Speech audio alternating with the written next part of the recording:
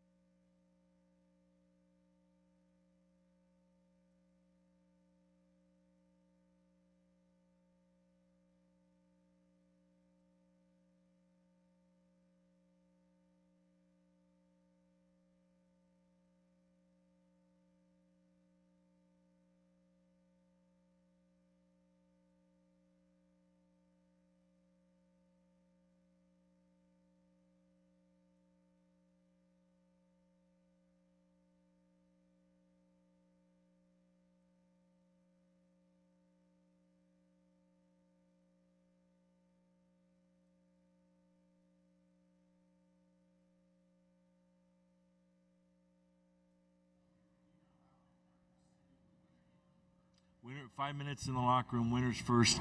Total length.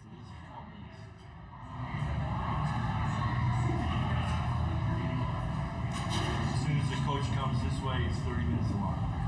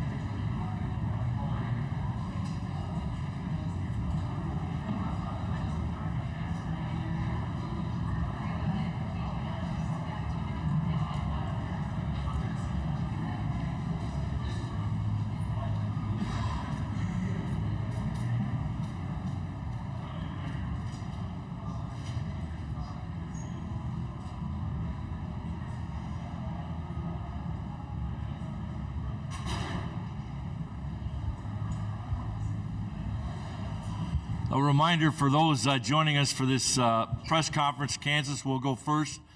Total length of this press conference is 12 minutes. And the Kansas locker room will be open for 30 minutes a minute. Coach uh, Roberts joins us. Jalen Wilson led uh, Kansas with 20 points, his 21st 20 plus scoring game this season. Grady Dick with his first career double double, 19 points or career high 11 rebounds. This is Kansas' 16th straight NCAA uh, tournament first round victory dating back to 2007, and their ninth straight opening round victory in double figures. Their seventh uh, consecutive turning win dating back to last season. They are 46 and 13 as the number one seed, including a 17 and 0 record against the number 16 seed.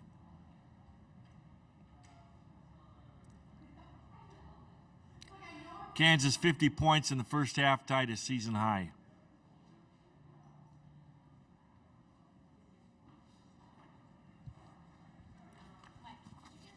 No, I asked for. Yeah, we need at least we need, we need at least four ASAP, please. Okay.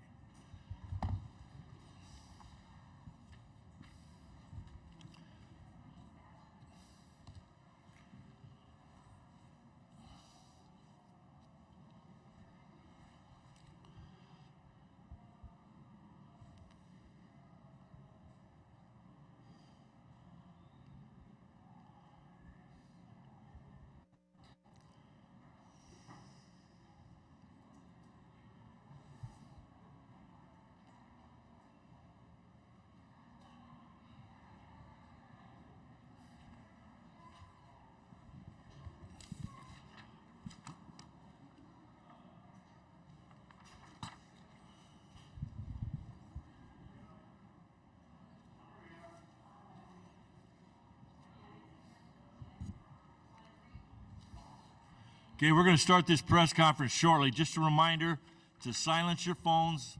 Recording of this press conference with your tablet or iPhone is prohibited. Please identify yourself with your name and affiliation. Uh, raise your hand. Microphone holders will come over to you if you have a follow up. Uh, please tell the microphone holder again the length of this press conference is 12 minutes.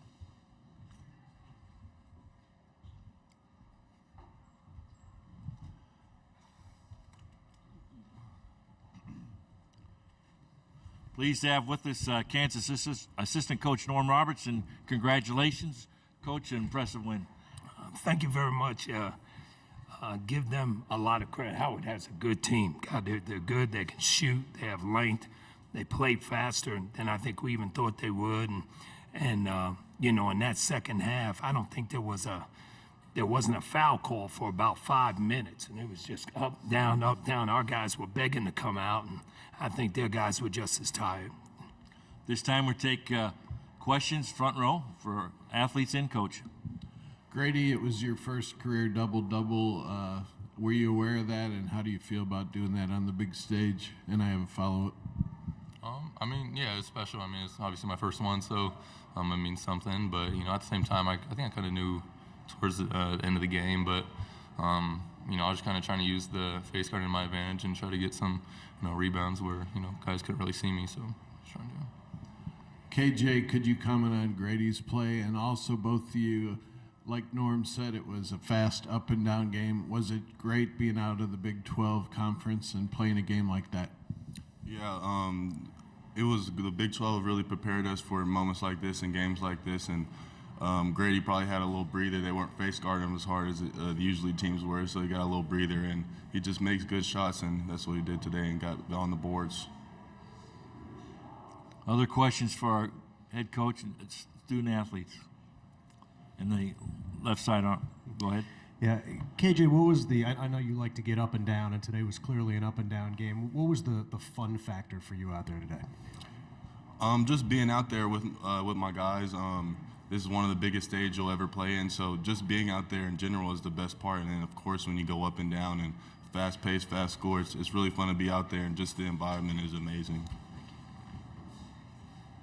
We're going to go, uh, Greg, please. uh, Greg Echlin, this is for Kansas Public Radio for Grady. Um, your first NCAA tournament game, what was the feeling like uh, during warm-ups and everything leading into this game?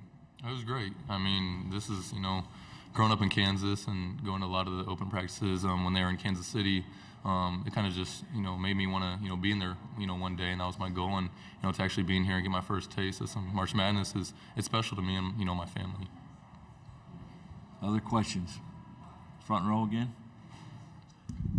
To the guys, when did you find out Coach Self wasn't going to answer the call today because he's still recovering? We'll go, And I have a follow-up. go with KJ first and Grady. Um, we we found out probably this morning. He's just day by day, just taking it time by time, and just doing the best he can to make it out here.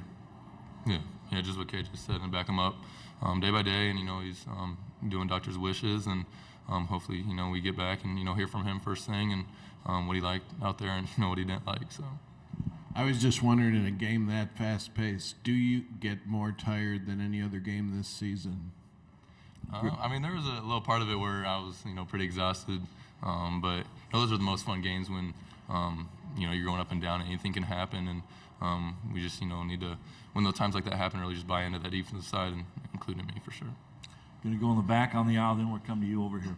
Uh, Brendan Dorzinski, WIBW Radio in Topeka. Grady, this one's for you. Early in the game, Howard was shooting lights out, especially from deep. At one point, I think they were almost 56% from the floor in the first half. What changed for you guys defensively that led to tougher shots for them and then runouts for you guys on offense? Um, just our preparation for the week. Um, we knew, you know, I think they had four guys over the season that have shot over 100, so we just knew they were going to come out blazing, and you know, hats off to them because they did exactly that. But I feel like we just had to, you know, uh, adapt to the game and really just try to run them off the perimeter, and um, I feel like we did a better job throughout the game with that. Montredave DT. Um, Coach, this a lot of transition play both on your side and for them. Was that a part of the game plan or something that you guys adapted to on the fly? No, we always want to play fast. We're, we're better when we play fast. I thought uh, Juan had a game that's not really like his type game. He doesn't turn the ball over like that, and I think he got fatigued and and he made a couple of bad passes. We made a couple of wrong adjustments too, but um, we like to play fast. They got up and down, and, and we knew if we could rebound the ball, which we didn't do a great job of that today, but if we rebounded the ball, we could get out and have some opportunities, and, and that happened today. Other questions for our coach or student athletes? Please raise your hand. You cannot Uh, this- record this. It's name and affiliation first, please. Thanks. Uh, Nigel Dice with KCI. Great. Uh, question for Grady. Um, just how, how special is it to be a Kansas native? And then obviously, you have a chance to help your program, you know, repeat back to back national championships. How special is it to have this big of an impact on this team as a, as a freshman? How, how special is all this? Oh, it's super special. You know, it's always special when you play at Kansas. But you know, like you said, me being from here, I think you know it means um, even more to my family and um, see my siblings go through here. You know, I've been on campus since I was little, so um, the fact that I got to be in the shoes to um, play for this university is a dream come true. Front row. Coach Roberts, uh, did you feel like today you were more animated, if that's the right word, compared to the Big 12 tournament? Were you more personally fired up because of the, you know, the, the importance? Probably a little bit. Probably to say I wasn't uh, would be wrong. Yeah, I probably was a little bit more animated today, just um, because we knew what they were capable of doing, and we didn't guard it right in the beginning, and let them get off too many easy looks and got beat back door. Those are things that we had discussed, said we didn't need to have happen. So I probably was a little bit more animated. And what's today's update on Coach? Could he possibly coach the next game, and how's he doing? He, he's doing good. It's all it's all day to day and how he feels and doctors and stuff. But he's doing well. He's he's been able to spend quite a bit of time with the guys and practice and that type of stuff. So he's he's doing good. We have uh, six minutes left in this conference. Other questions for the coach or athletes? Uh, this one also for Gradey. Uh, you did a tremendous job today, you know, rebounding. How do you always try to find yourself to be in those spots to get those, you know, pretty much game-defining rebounds? I think like those are pretty much like the start to a lot of your guys' runs. You know, there was even a one where you, you caught, got the offensive rebound, you kind of dished it off for an assist. How how do you always find yourself in the right spot for you know whether it be offensive rebounds or defensive rebounds? Um, I say, you know, throughout the season, um, I've got, you know, great advice from um, my coach, Brady Morningstar, and he played here. So um, he's kind of been through um, what kind of goes into if your shot's not falling, you know, you got to try to find ways to affect the game. You know, fortunately it was um, falling pretty good today. But um, at the same time, I was just trying to, you know, see how the defense is guarding me. You know, if they're face guarding me like they were a couple possessions, and that kind of gives me advantage to, you know, see the rim and, you know, a full view, and they can if they're, you know, looking at me. So it was a good advantage for me. Other questions? Okay, we're going to go in the aisle.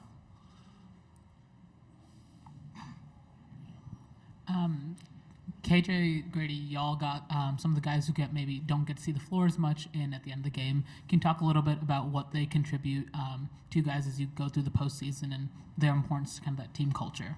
Yeah, all the guys, uh, especially Bobby and Joe, all have a good energy that helps the team no matter what. If it's practice or playing in the game, they always help us in energy points and just knowing the game and helping us when they're on the bench and when they're out there. So it's just good to see them get a little bit more time than they usually do.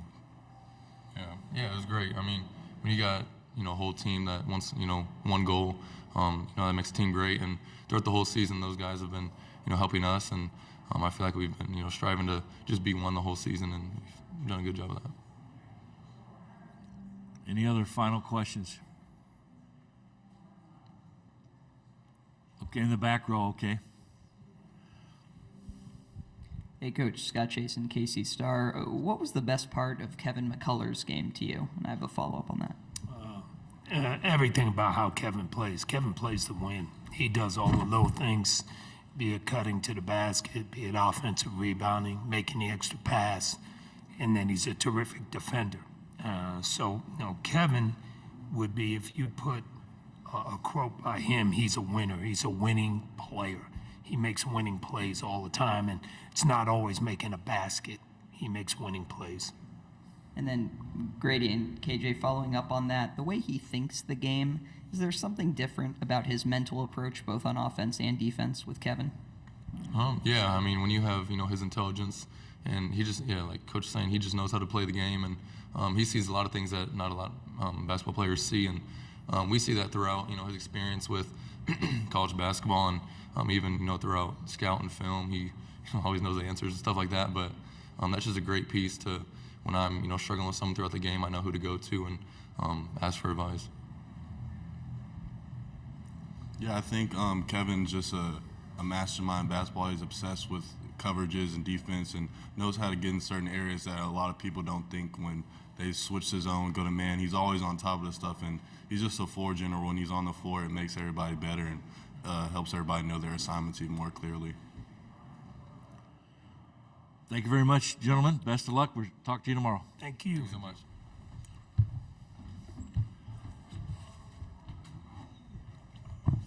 Again, the Kansas locker room will be open for another 18 minutes. We'll have Howard up here shortly. The satellite coordinates for this press conference Galaxy 17, transponder 16A, download frequency 12006.5V.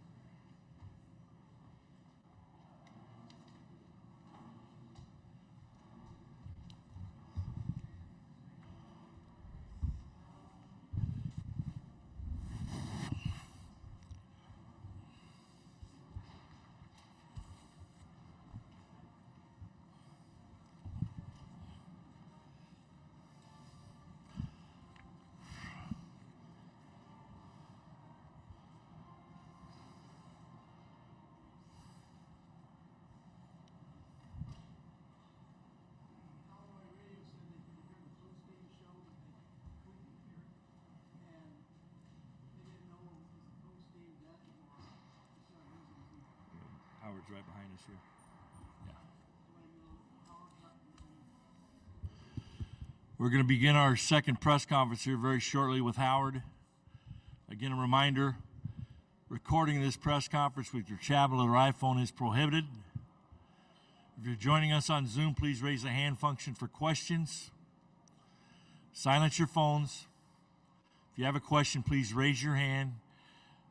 Microphone holder will come to you, and please, before you ask your question, give your name and affiliation. The satellite coordinates again are Galaxy 17 transponder 16A, downlink frequency 12006.5. The length V, the length of this uh, press conference will be 10 minutes. And the Howard uh, locker room will be open during this time. Thank you.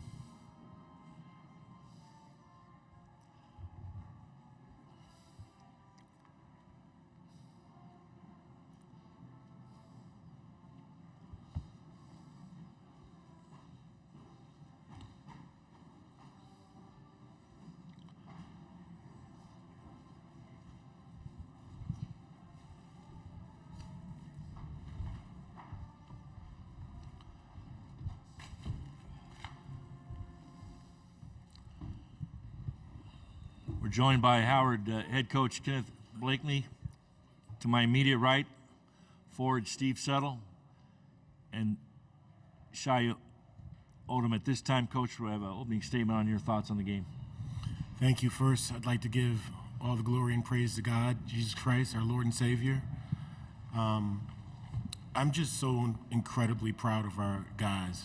And what I told them after the game was that, you know, besides having a historic season, being a part of a group that is only the third team in the history of Howard University's men's basketball to go to the NCAA tournament. I just love how they have grown as people and have become better men over this course of the season. Um, that's a victory that no one can take away from us. And I'm thrilled that we were able to represent Howard University in a classy way uh, that honored so many people before us, the legacy of Howard, and so many people that's going to walk those steps afterwards. So thank you. This time, we'll take questions for the head coach as well as our student athletes. Okay, front row here. Uh, yeah, uh, Ad- Ad- Adam Kilgore with the Washington Post. Uh, I was hoping to ask this both uh, Shy and Steve. Um, I, I, I understand that uh, Vice President Harris came in and spoke to you guys uh, after the game. What was that experience like, and, and what did she tell you guys? Start with Shy first. Um, the experience was amazing. Um, it's uh, it's amazing to know we have uh, people of such power uh, that are you know affiliated with us and supporting us at the same time. Um, she just told us that you know even though we didn't come up with the uh, the victory, uh, that we're still winners, and uh, what we've done this year is history, um, and to just keep our heads up. Steve. Yeah, um, just to have someone like that uh, with such stature in our corner and behind us, supporting us, um, it means the world. And she just told us how proud she was of us and the whole Howard community, uh, how proud we make them, and how much we're talked about. Um, and just told us to keep our heads up and keep pushing. Coach, would you like to add anything to that? Okay. Any other questions? We're gonna, we have a Zoom call in the back. We have a question from Chris Heidel. Chris, when you're ready.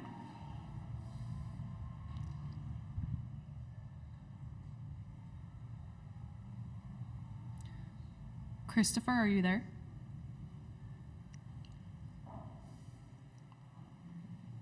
There you go. Go ahead. Yeah, I got you guys. You got you. Hey, this is Chris Heidel from Herbert from Radio. Sorry for the loss. Um, what does this mean for you guys playing on this big stage? You know, being on you know national TV, and what does it mean for the brand for Howard? Is that directed to anybody in particular? Coach, you want to answer that?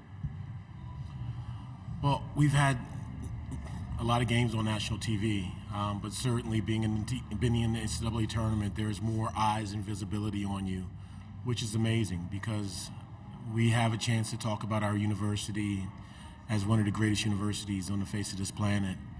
Um, we're the 83rd university ranked in the country, and we have a legacy of leaders uh, from every different sector of the world in terms of occupations and jobs. Um, so it's pretty cool to have this opportunity and moment and uh, to highlight our university and to share with the world how great of a place Howard University is.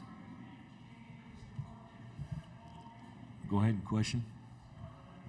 Uh, this is for uh, Kenny. Um, I'm, I'm sure you guys came into this game expecting, believing you could compete and win. When you're up, you know, five minutes left in the first half or so, does that belief sort of go up a little bit? Could you, could you sense your guys really start to believe that could, could happen at that point? Well, I, I think you know, understanding that we've had leads, and uh, I had the lead at that point in time. There's still more game to go, um, so it's like we can't get too high and we can't get too low. We have to kind of stay even killed. I mean, you know, as of a couple, maybe a week ago or so, Kansas was the number one team in the country, and uh, you know they do a great job with their coach, you know, Hall of Famer Bill Self, and I know Norm. Uh, Coach Roberts took over today for, for Coach Self. Hope he has a speedy recovery because um, we really need him back on the sidelines. But for those guys to, um, I think for our guys to compete in the way that they did, I'm very proud and honored to have a chance to say I'm their leader or their coach, their mentor, or their teacher. So um, they took us on an incredible ride, and it's been a lot of fun. Question in the back row. Dave Campbell, uh, Associated Press. Steve and Shy, I guess, what, what allowed, in your mind, Kansas to be able to pull away a little bit late first half, and what uh, sort of what makes them so good? Now you get that first hand look. Start with Steve first. I think when you play a team like uh, Kansas, they capitalize off all of our mistakes. Um, we left a lot of meat on the bone in the first half. Uh, free throws, uh, gave up a lot of second chance points, and a team like that, you, you have to, you can't get that up. Um, so I feel like we did a good job at first, um, but they, they were able to spread the, the gap. Uh, yeah, just like Steve said, uh, in both halves, uh, giving up a lot of points in transition um, and second chance opportunities. Kind of, we kind of dug ourselves in a hole. Um, that's pretty much it. on the aisle there. Uh, for, for Steve, um, what are you going to take with you from this season the most? Do you think? Like, what's what's going to stay with you the most? Well, I think I think for me, I've had to learn how to impact the game in other ways other than scoring. Um, I think that's been the most valuable thing for me. Um, I feel like coming into this season, uh, I just thought of myself as a scorer, but Coach KB and my whole team challenged me to become something more than that, and that has only made me so much better. Um, KB has pushed me in practice and in the season um, just to make me more well-rounded, and that's just gonna make me reach my potential even more.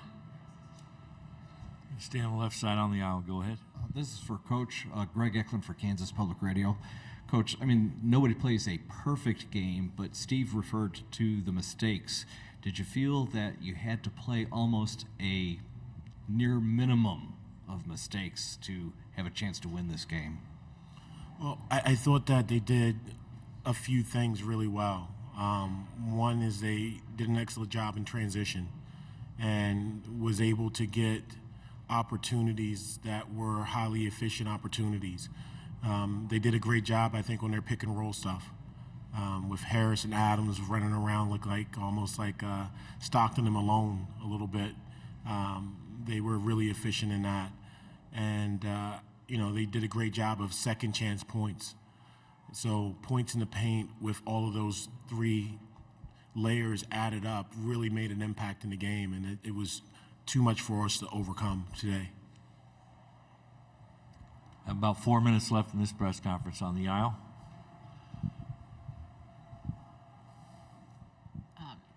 Tough ending today, but it's been a really impressive season for y'all, and you've accomplished some of the goals you set out for. What are some of the things you're going to take um, from today and from this journey to kind of come back next season and attack it with that same vigor? Coach? Well, I mean, I think there's a lot of different things that we want to try to unpack from this season. Um, certainly, I think we understood how to how to win this year, and that is a very difficult task to learn. Um, you know, we have some things that I want to talk to in, each individual about um, when we have time, some goals and some some um, some things that I'd like to see them do over the summer. I, I, like to apply tasks to our guys, so some tasks that they will have over the summer, and uh, see if we can kind of, after that, can we connect to see if we can grow and connect to kind of ignite this thing all over again. One final question. If not, thank you very much, Coach. Congratulations, athletes, on a tremendous season. Thank you, Mike. Thank you.